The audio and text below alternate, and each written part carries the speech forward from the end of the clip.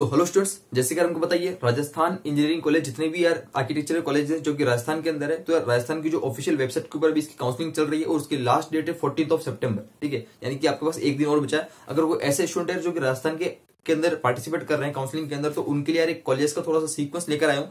वैसे तो आपको पता होगा कि राजस्थान के अंदर जो भी स्टेट गवर्नमेंट काउंसलिंग के अंडर कॉलेज आते हैं आर्किटेक्चर के, वो ज़्यादा नहीं है। लगभग लगभग फोर टू फाइव कॉलेजेस ही है मतलब फाइव या फिर सिक्स कॉलेज होंगे ज़्यादा कॉलेज नहीं है। बाकी जितने भी कॉलेजेस है, वो अदर सब प्राइवेट कॉलेजेस है मतलब प्राइवेट यूनिवर्सिटीज है। उसके बारे में बात करेंगे प्राइवेट के अंदर क्या क्या आपको एक ऑर्डर फिल होना चाहिए, अगर आप प्राइवेट के अंदर इंटरेस्टेड हो तो ठीक है? सबसे पहले तो बात करते हैं जो जो आरटीयू के अंदर आ रहे हैं मतलब कि राजस्थान टेक्निकल यूनिवर्सिटी, जो कि आप काउंसलिंग के अंदर पार्टिसिपेट कर रहे हो, उसके अंदर कौन कौन से कॉलेज आ रहे हैं, पहले उनकी बात कर लेते हैं। सबसे पहले तो बात करते हैं, वो है नंबर वन कॉलेज जो है आयोजन school of architecture Jaipur.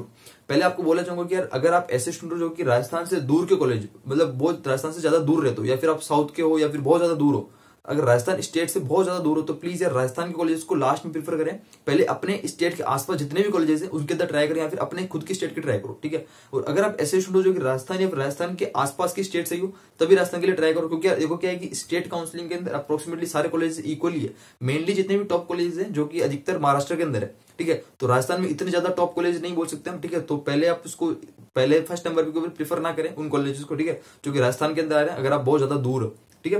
Next बात करते हैं, जो पहला नंबर जो है, आयोजन में आपको बोल चुका हूँ। ध्यान रखना, अगर आप फिल कर रहे हो तो पहले वो कॉलेजेस फिल करेंगे, जो कि अंडर जयपुर के अंदर आ रहे हैं। जयपुर के अंदर कॉलेजेस अच्छे हैं, ठीक है? ज़्यादा नहीं है, दो से तीन कॉलेजेस ही हैं जयपुर में। तो पहले नंबर पे होगा जो है आयोजन स्कूल ऑफ़ आर्किटेक्चर जो कि जयपुर में है। सेकंड नंबर पे जयपुर का ही एक कॉलेज जिसका नाम है Apex institute Apex group of institute school of architecture Apex group of institute ये जयपुर के अंदर है, इसको हम सेकंड नंबर पर फिल करेंगे, ठीक है? अब नंबर थर्ड के ऊपर बात करते हैं, अगर आपके ऑप्शन के अंदर है RTU Kota, Rajasthan technical university Kota, अगर कोई ऑप्शन में आ रहा है तो आप इसको पहले फिल कर सकते हो, शायद ऑप्शन में नहीं होगा क्योंकि यहाँ पर बी आर नहीं है। अगर बी आर होती है अगर ये ऑप्शन में अगर आ जाता है तो आप इसको पहले फिल कर सकते हो। उसके बाद हम बात करेंगे, अगर आप चाहते हो कि भैया पहले मैं उदयपुर में जाना चाहता हूँ तो आप उदयपुर के कॉलेज पहले फिल कर सकते हो, या फिर आप पहले एमबीएम को फिल कर सकते हो, ठीक है? तो नंबर थर्ड फोर्थ पे एमबीएम को फिल कर सकते हैं नंबर थर्ड फोर्थ या फिर फिफ्थ पे। एमबीएम इंजीनियरिंग कॉलेज ठीक है? क्योंकि एमबीएम इंजीनियरिंग कॉलेज जोधपुर में है, और ये एमबीएम इंजीनियरिंग कॉलेज जोधपुर में क्या है एक्चुअली में ये बहुत ज़्यादा नंबर वन कॉलेज है, पर लेकिन ये बीटेक के लिए नंबर वन है एक्चुअली में ये। बीआर के लिए नंबर थर्ड फोर्थ फिफ्थ के ऊपर आ सकता है ठीक है? तो बीटेक के लिए नंबर वन कॉलेज है पूरे राजस्थान के अंदर।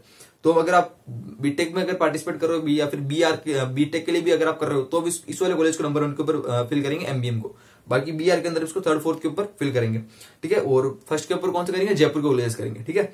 यहाँ तक बात क्लियर उसके बाद अगर आप उदयपुर के पढ़ना चाहते हो उदयपुर के अंदर भी दो कॉलेजेस हैं। उदयपुर के अंदर एक और होगा college of architecture and town planning एक होगा Buddha institute of architecture and town planning एक तो बुद्धा कॉलेज है और एक simple college of architecture town planning. अगर ये ऑप्शन में है तो उदयपुर की कॉलेज। ठीक है? क्योंकि इनका भरोसा नहीं है, क्योंकि उदयपुर का कॉलेज शायद ही ऑप्शन में हो सकता है। दो कॉलेज शायद ही होंगे, एक कॉलेज ही होगा, क्योंकि एक कॉलेज शायद काउंसिल ऑफ़ आर्किटेक्चर से एफिलिएट नहीं है, उसकी सीट्स इसलिए शायद ही उसका नाम होगा, ठीक है?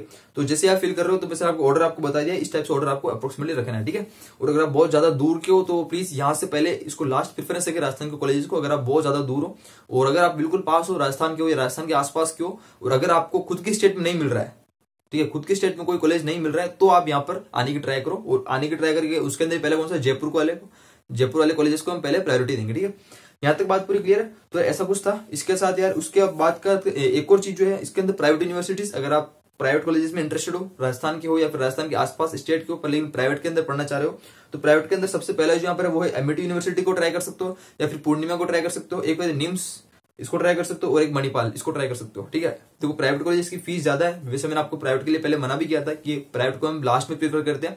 सबसे पहले जितना ट्राई हो सके स्टेट गवर्नमेंट को स्टेट काउंसिलिंग के जितने भी कॉलेजेस हैं, उनको पहले ट्राई करेंगे, ठीक है? लास्ट में हम प्राइवेट के ऊपर जाएँगे, क्योंकि प्राइवेट की फ़ीस बहुत ज़्यादा होती है और प्राइवेट के अंदर सब अप्रोक्सीमेटली बराबरी होते हैं। प्राइवेट के अंदर कोई ज़्यादा अच्छा है, ज़्यादा कोई बुरा ऐसा कुछ होता नहीं है, ठीक है? इसलिए, यहाँ तक कोई बात क्लियर है? तो यार, एक और आपके पास एक मौका है, अगर आप चाहते हो कि भैया मैं राजस्थान का हूँ या राजस्थान के आसपास अगर आप चाहते हो इंटरेस्टेड हो अब आप कोई लास्ट चांस है कोई चांस नहीं बच रहा है। अगर आप फिल करो तो एक चांस आप इसको लेकर चलते हो एज ऑप्शन लेकर चल सकते हो। अगर आप, आपके स्टेट में आपको कॉलेज नहीं मिल रहा है तो हम इस वाले काउंसलिंग के थ्रू भी कॉलेज इनको मिल जाए। तो हम इसके लिए इसको फिल कर सकते हैं, ठीक है? अगर खुद के स्टेट में अगर अच्छा कॉलेज मिल रहा है तो ऐसा नहीं कि आप खुद के स्टेट का अच्छा कॉलेज छोड़कर यहाँ पर आ जाओ, नहीं। तो जितना ट्राई हो सको खुद की स्टेट में ही पहले कॉलेज लेने की ट्राई करो ठीक है अगर मैं स्टेट कॉलेज की बात कर रहा हूँ खैर अगर आपको पता होगा कि वैसे राजस्थान के अंदर सबसे एक एनआईटी भी है पर एनआईटी के अंदर हम जानते हैं कि जोसा के थ्रू काउंसलिंग होती है एनआईटी के अंदर जो कि JEE paper two score accepted होता है जोसा के थ्रू काउंसलिंग होती है ठीक है एनआईटी वो एनआईटी का तो फ़ील्ड ही अलग है पूरा वो तो स्टेट काउंसलिंग में आता नहीं है फिर एनआईटी तो क्या टॉप कॉलेज है एनआईटी के अंदर भी बी आर्किटेक्चर है एनआईटी जो कि जयपुर में है एमएनआईटी जयपुर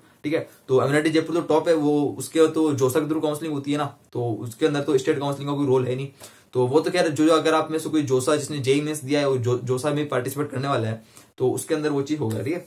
सो यार स्टूडेंट्स इस वीडियो को इतना ही। एक छोटी सी वीडियो बनानी थी आपको बताना था।